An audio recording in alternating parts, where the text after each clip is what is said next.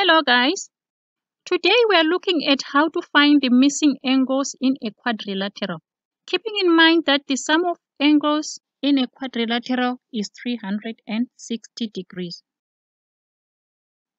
Now our first example, we have a quadrilateral with three internal angles marked as 100 degrees, 60 degrees and 70 degrees. We want to find the size of the angle that is marked with an X. We know that all the angles in a quadrilateral sum up to 360 degrees. So angle X plus 60 plus 100 plus 70 degrees must be 360 degrees. Now 100 plus 60 plus 70 degrees is 230 degrees.